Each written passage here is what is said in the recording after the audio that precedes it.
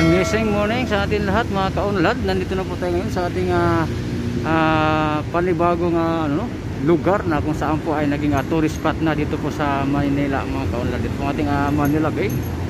At tayo po ay magbigay po ng update ngayon no, sa araw na ito kung ano pong uh, kaganapan at sitwasyon.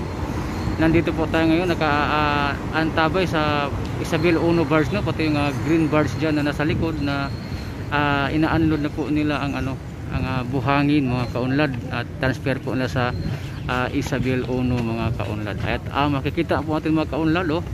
yan po ano mga kaunlad yung uh, yan mga kaunlad yan yan, yan uh, mula dito hanggang papunta doon ay uh, kita na po natin ang uh, gray sand no na nandyan po sa dagat. At uh, talagang uh, ano na po ito uh, magiging uh, dalampasigan na din yan talaga. At uh, yan po ang ano ang uh, bubuhusan dito at lalatagan ng white sand mga kaunlad at uh, karugtong po yan dun sa phase 1 natin no? Sa ating uh, unang uh, dolomite beach na nagawa no?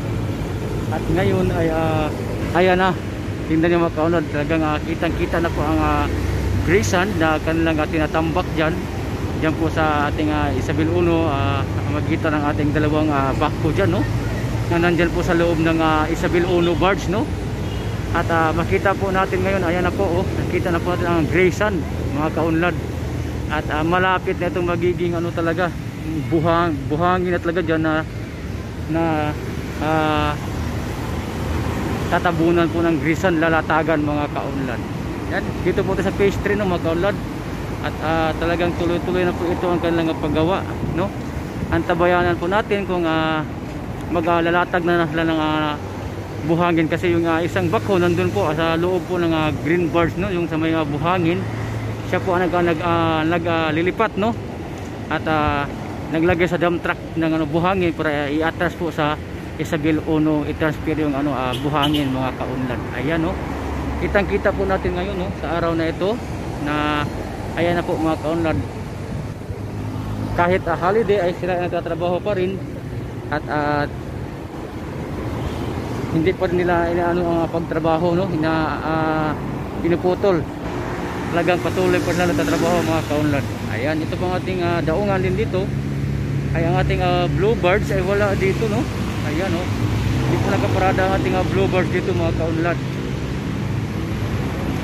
Ang nandiyan po natin ay ang back po no na kulay uh, white green no? Mga kaunlad ayan.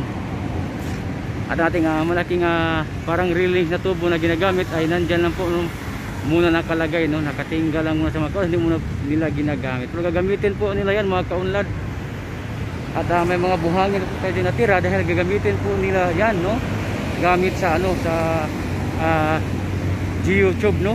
Sa geotube uh, gagamitin po yan dahil uh, yung buhangin na yan ay uh, uh, paglatag ng ano ng geotube ay uh, ilagay sa sako yung buhangin at uh, gawin mo na lang ano yan pabigat para malublob ang geotube mga kaunlad no? Ayan mga kaunlad. Ito pang ating uh, sitwasyon ngayon mga kaunlad no? Ayan. At tuloy-tuloy po tayo magbigay po ng update sa inyo ngayon dito sa ating uh, Manila Bay mga kaunlad. Ayan. Ayan po sila mga kaunlad. At uh, galing po yan sa ano no sa ating uh, birds yung ating mga kabayan dyan na nag, ano, nagbangka mga kaunlad galing po sa birds yan ayan. Ayan mga kaunlad at tuloy-tuloy na po tayo magbigay ng update dito sa inyo sa kaganapan dito sa ating Manila Bay no?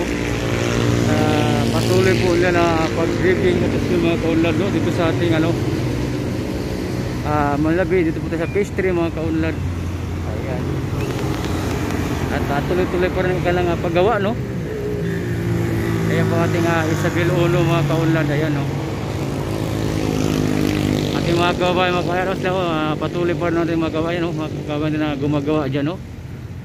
At uh, naglalagak sila ng ano dyan ng lubid para maayos po yung uh, pag ano ni Isabel Uno kasi papunta po yan dito didi, uh, didikit yan dito banda naglatag ng buhangin kasi doon kita na po ang uh, grisan mga kaulo no? kitang kita na po natin na nandiyan na po lumutang na ang kanilang uh, nilalatag na buhangin dyan sa karagatan mga kaulan ayan ating mga kabayan dito at ating mga bikers no? at uh, mga naglakad-lakad dito ay uh, nandito pa mga kaunlad no? ang sarap ng ah, hangin ngayon mga kaunlad dito sa Manila Bay ang simoy ng hangin maramdaman mo na talagang ah, malamig no at ah, walang amoy mga kaunlad. Walang amoy burak dito sa Manila Bay kundi malinis na. Wala nang amoy basura. Ayan mga kaunlad. Kaya kung nais nyo pumasyal dito pwedeng pwede no? Kahit uh, sarado muna natin Dolomite Sun ay pwede kayo pumasyal dito magbike maglakad-lakad. At exercise mga kaunlad. Pwedeng pwede po kayo dito mga kaunlad. Ayan. So ating uh, latest update ngayon dito mga kaunlad no, sa ating Manila Bay. Ayan ah uh, kung nais nyo pumunta dito pwedeng pwede mga kaunlad. Ating mga bikers mga kaunlad oh. ang dami po nila mga kaunlad.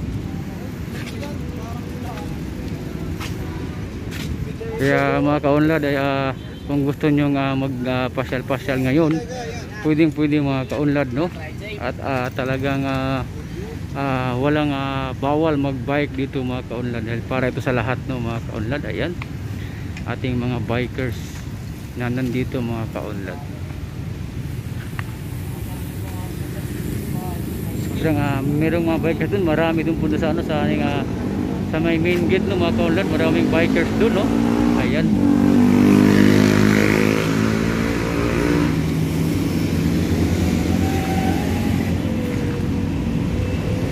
Ayan mga kaulad tuloy-tuloy po tayo. Bigyan po tayo ng update sa inyo. Ayan ang ating uh, birds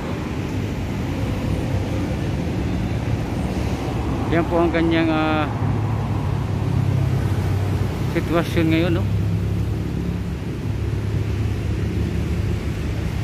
Tuloy-tuloy lang po tayo. Tuloy-tuloy bigay po ng update sa ating mga kababayan.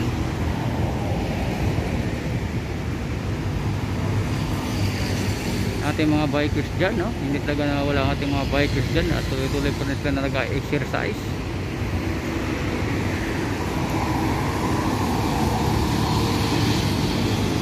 yan ah happy new year no sa ating lahat mga kaunlad. At uh, ingat po lagi tayo no at uh, always tayo pray mga kaunlad no. Para po uh, uh, maganda ang ating uh, mga katawan no. Bigay po tayo mag uh, ano po tayo ng uh, exercise mga kaunlad dito sa Manila Bay tuloy po tayo tuloy po tayo bigay po ng update sa inyo. Ayan, maraming maraming salamat sa inyong lahat sa walang sama pag-reporta kay Unlad TV at nandito kayo lagi no nakaantabay sa aking uh, live mga kaunlad ayan maraming salamat sa inyong walang sawang pagsuporta kay Unlad TV at uh, sana po ay hindi kayo magsawa sa panood sa aking uh, channel no. At nandyan lang kayo lagi sa aking channel mga kaunlad tuloy-tuloy na po tayo tuloy-tuloy ng update